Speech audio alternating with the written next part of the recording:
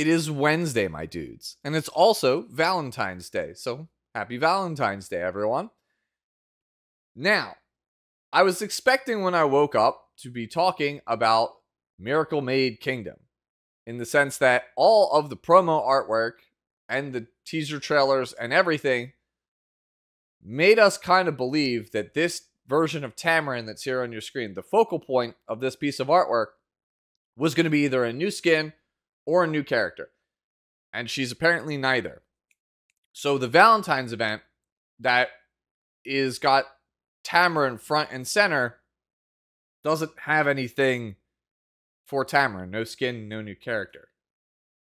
Then what was the point of this redesign? Right? Why why even waste the time making up this uh this new ensemble for Tamarinne? If it's not going to be accessible by the player base like at all. It just feels like such a huge missed opportunity. To have your Valentine's event kind of reach the pinnacle of hype last week with the new character Laia and then have nothing on Valentine's Day, that's a pretty big swing and a miss, no? Right? Again, especially for a side story with this much behind it. Normally, a side story comes out and you just read it and maybe there's a new character and that's that, right? This is a new side story with a bunch of new artwork, uh, a, a PV, a teaser trailer, a maid cafe being brought out in South Korea, and new tracks, new music tracks, right? A lot went in to this side story. And to see it stumble at the finish line like this is pretty disappointing, right? And I'm not saying it's either the majority or the minority, but there's a very vocal group right now that are kind of dissatisfied with the state of things. And this is just another thing that you can kind of throw on that pile, right? So I can already tell you that if I scroll down at the end of this to the stove comments, there's definitely going to be some people uh, who are not very pleased with the fact that this patch doesn't really culminate in the way that I think a lot of us were. So yeah, no Tamarinne, big missed opportunity. So instead, for the rest of the video, let's take a look at two things that are kind of important, which are the new exclusive equipments as well as the return of the custom group summons. So, Beehoo and Eligos, two characters that I think are definitely viable right now, but could use a little bit of a tweak or adjustment, are receiving these. So good picks for these characters. Beehoo, I think, is already on the rise. So this exclusive equipment is definitely going to make him, I think, be a much more prominent character in PvP. I am personally going to be building Beehoo very, very soon and start messing around with him because I think he is quite good, especially after this new exclusive equipment, which is Willful Bells of Sanctity. Gives 16% effectiveness, Great for a burn based character. Gives him a little bit of reach on certain knights or soul weavers if you're not really quite there, if you're just missing some stats. Flamekeeper is the first one here. Gives extra attack and defense percentage. Again, great if you're missing stats, if you're having a hard time hitting thresholds, or just in general, if you already have the thresholds, might as well get some more damage and bulk out of the character. I think this one's actually pretty good. Second one here gives an attack buff on Symphony of Radiance, which is already his setup skill, his support skill, and attack buff massively amplifies the detonate on his burn. So yeah, really, really good change here. Uh, this, is, I think, is probably going to be overall the best one. But this third one is still also pretty good. Symphony of Radiance giving a burn to all enemies for one turn. Uh, you can't cash it in right away. So if they have a cleanser, that's kind of a miss. So I can see why people might not want to use this one. But it's still damage on an otherwise non-damaging move. So that could also potentially, again, be very, very good this exclusive equipment is better than like 90% of the exclusive equipments that I see that we get in the game. Like all three of these options, if you told me you played it, I wouldn't really fault you because I think that all three of them are quite good. And I think that the base statistic is very synergistic with the character. Now let's move on to Eligos, which is attack percentage as his main one here for Boss's Coat. yeah, um, I wish this was something else. Like if this was uh, critical hit chance, I think it would probably be a bit better. There's no way they would give this character speed. The character's already crazy fast to begin with. So yeah, we were never getting speed. So critical hit chance, I think, is a bit better than attack percentage, but sure, I'll take attack percentage. So first one is on the S1, gives 15% CR. Not really the best. And I'll jump down here to the third one, Cloak and Trigger. Decreases the cooldown of Cloak and Trigger by one turn. also not really the best, especially when you consider where Eligos is actually played. He's played in very aggressive compositions or cleave comps that are trying to wrap the game up in a hurry. So an extra 15% to turn cycle is probably not going to matter because you probably already won the game. By the time you're getting to the point where point blank shot is realistic, cloak and trigger, you're only going to get one off in a match, even with the reduced cooldown. Now, this one here on the cleaner, the passive skill, at the start of the first battle grant stealth to the caster for one turn. Well, everyone plays Eligos on Guiding Light. He needs Guiding Light to function. Having Guiding Light built into your exclusive equipment is very, very good. Um, basically, it frees up the artifact slot, and it also is helpful to newer players that want to play a ranger or a contester that don't have Guiding Light because it's a limited artifact, right? So having this right here is very, very big for this character. And I expect people who play Eligos, they'll develop some new technology. They'll start to mess around with some other options for artifact choice. Um, what those might be, not sure. Maybe it's like Symbol of Unity to synergize with the hit set. I'm not somebody who plays a lot of Rangers, so I'm not really sure as to what I would actually want to play on the character to increase his damage or give him some kind of flexibility. But anytime you see this, right, an exclusive equipment replacing or freeing up something that previously was a dependency for the character is pretty big. So this is uh, definitely a good change for the character. And will it increase his playability? I'm not sure. But it could only be a good thing, right? The character is already seeing some play, not a ton, some play. This could definitely help things. But of the two, Beehoo definitely feels like he is the winner. And now, for the rest of the video, I'm going to talk about the custom group summon. And the reason it's going to be a little bit truncated here is because I already talked about the custom group summon three months ago. And if you take a look at the requirements here, when you scroll down, you can see it's limited heroes released in the past six months and were featured in a rerun. And for everyone else, it's just have you been released six months ago? And surprisingly, there hasn't been too many releases, it feels like, in the last six months, right? Like you've got the three limiteds, Laia, who's up now, Biblis, Blooming Lidica. None of those are going to be on it, but like, what else have we really had? Fumyr, Kayn, right? There's probably someone else I'm missing. You can let me know in the comments below, but the list hasn't really changed too much. Like, not too many additions have been added. And if you want to see my like full breakdown on everything from the last time, I'll leave the link to the November custom group summons in this video's description. Um, but for right now, I'm going to just quickly swap on over here to my tier list here. This is pretty much how I feel right now. This is slanted more towards World Arena, but there's still some other stuff in here that I'll touch upon, right? Do keep in mind that a character's artifact that accompanies it does affect the placement. So you get to pick three characters, right? You get their character plus their accompanying artifact. So to give you an example in this top tier category, Charlotte is not a character that I would recommend pulling for the character, but her featured artifact when you choose Charlotte as one of your three options on a custom group summon is Elbris Ritual Sword, which is one of the most important artifacts in the entire game.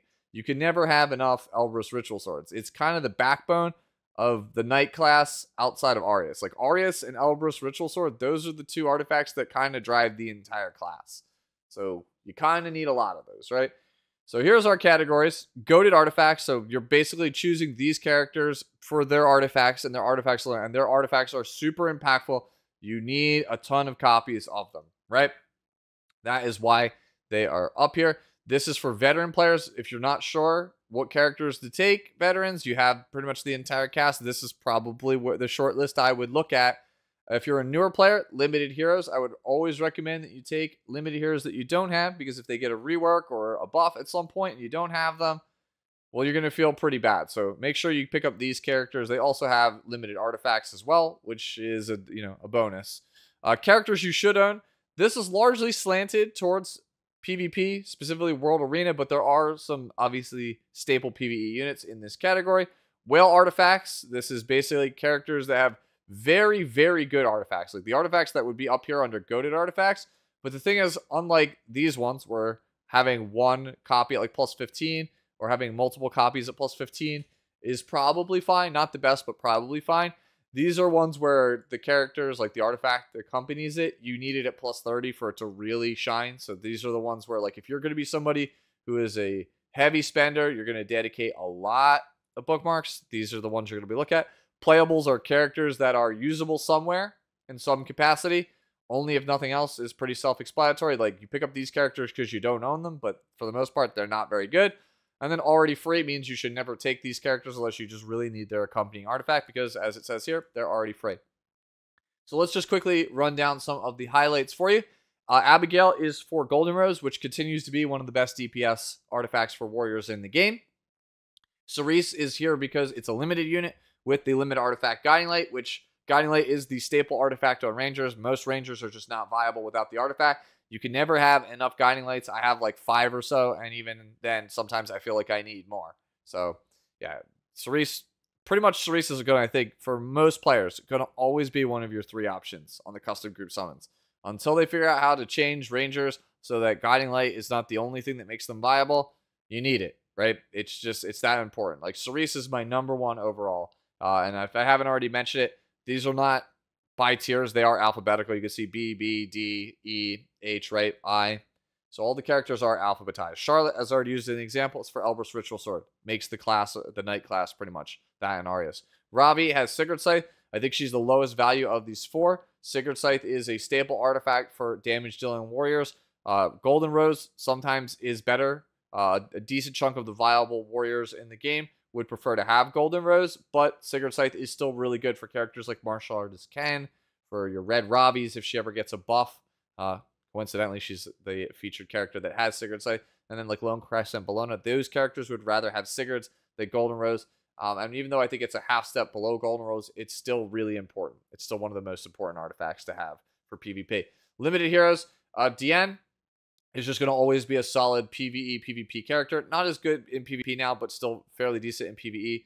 Uh, Unfading Memories is an okay artifact if you have a bunch of copies of it. Fairy Tale Tenebria, kind of good as a fifth pick in World Arena if you can, you know, you've got good speed gear and you're confident in trapping your opponent into her. Her recommended artifact is Fairy Tale for a Nightmare, and that's obviously used to be something that used to be up in goaded artifacts in the previous tier list, but I feel like there are less good viable users for it right now, so I moved it down. Like if I could, if I could put her in the halfway point, I probably would because that artifact is still great. It's just a bit harder to use. Holiday Yufine, um, good versus anti-cleave. Her recommended artifact, or her accompanying artifact, I should say, is decent as well for characters like Conqueror Lilias. Uh, Greenlandy, great for PvE. Sometimes viable in PvP if you have really good speed gear. It needs Guiding Light. Her artifact that she comes with, not exactly the best. The girl Luna, really popular character, uh, can definitely get there for some pieces of content, like expeditions, for example. Uh, she's at least got some home there. Uh, I just used her last night on stream before, uh, you know, was it like February 13th, right? I just used her to cleave somebody. So she's got some really niche uses. But uh, the primary reason you're picking her up is Draco Plate. Well, still one of the best artifacts for warriors in the game. Not as good as Golden Rose or Sigurd Scythe, but still pretty good. Seaside Bellona, I would probably pass on unless you just don't have the character. Because, well, I feel like there's a lot of replacements for Prop Boy kind of proved that you could use Ari instead of Seaside Bellona for Wyvern. So uh, SSB still decent, but not exactly the best. And then her accompanying artifact is also really good for her. Summer Break Charlotte, primarily a cleaver, and then her artifact uh, is Mature Sunglasses, which is good for knights, just not as good as Aurius or Elbris Ritual Sword. Summertime Asariot, pretty much a cleaver. You have to be a dedicated person to want to play her. Like it's kind of like a specialist kind of character. And her accompanying artifact is uh, really good for not only her, but Pirate Captain Flan. If you want to play Pirate Captain Flan, make sure you pick this character. Let's talk about characters you should own now. Beehoo, obviously we just talked about him getting the EE. I think he's got a lot of value in this format. He's very good against a lot of the damage dealers that are played and is a fairly decent bridge. Brig is a PvE all-star, and my boy Hinojin absolutely crushes with him, even in PvP. I think he's less of a PvP person. That's more just Hino's skill and just how good he is at getting the character to work. But this is a necessary character, I think, if you are a PvE enthusiast. Destina, great everywhere. Elena, amazing, amazing character right now in PvP. She's super, super good against Briar Witch Iseria and a lot of cleave compositions after her buff. Great, great character. And then her accompanying artifact is also really good for characters like Roana. Huayang, I think, is kind of back. She's very, very good against Laia, and Laia, I think, is probably the best character in PvP right now as I'm recording this. So Huayang is going to be one of those like staple characters I think to deal with Laia compositions if they're not going full on aggro slash cleave, uh, she's just very, very good. Like this is a character after her buffs that is much stronger than I think people gave her credit. Iseria, staple PvE unit with arguably the best PvE artifact in the game in Song of Stars. So of course, great pickup. Lilias, great everywhere. Hall of Trials, PvE content in general. Great versus Lua, who's the next character we're going to be talking about. And fairly solid compositions for like Guild War defense with like Sanya and stuff. She's just great all-rounder character everywhere. Like she's not super broken or like top tier at anything, but you'd be surprised at how many spots in the game you can play Lilia. So uh, I would be remiss to not have her under characters you should own, considering her wide applications of uses. Even Nightmare Raid, for example, she's like best in slot. Uh, Lua, broken character, even with Laia as like a hard counter now, still a broken character, so I'm not going to not advocate for a broken character, right? Politis, pretty much staple PvP unit if you're like a cleaver. Yes, Abyssal has kind of made her take a bit of a backseat, but I'd be remiss to not give you an option where uh, Politis might always make a resurgence at any time. The kit's just good in general in a lot of scenarios. Like, again, not top tier like she's been over the years, but it still feels like somewhat of an evergreen kit right? Just this plus Abyssal uh, or this plus Book is going to always be a really, really uh, strong composition to someone's team composition. Ran, probably the best cleave opener in the game. Just Mr. Speed does everything. Uh, company artifact, not as good, but still very good character. Roana, staple unit pretty much everywhere. When she's good, she's borderline broken. Tamarinne, best PvE character in the game. Whale artifacts, Selene for obviously the Spirit Eye, uh, not Spirit Eye, uh, Storm, Storm, Storm, Storm Sword. Oh man, I can't speak. Storm Sword is uh, really good. Yes, it's good on her and Spirit Eye Selene. So if you want to play one of the Selenes, you need a Storm Sword. It's really, really important. It makes the character actually work. Need plus 24 or higher. Crow, great in Guild Wars. Not so great everywhere else, but he comes with Holy Sacrifice, which is a staple for certain characters and certain compositions. Most notably, Abyssal Yufine uses the Holy Sacrifice artifact. So if you want to play her, that's probably where you're going to end up needing to pick up the artifact. Elbris is another viable option for her as well. Senya is pretty much not playable without her artifact at like plus 30 ideally. So, well, if you want to play Senya, might as well just pick Senya. Get dupes for not only uh, now, but potentially the limited version of Senya that's going to be coming out in the future. So, a lot of value on Senya this time around if you want to pick her up. Now, for playables, I'm not going to go into why you'd want to pick one over the other. Um, I'm just going to give you just, again, quick rundown of everybody.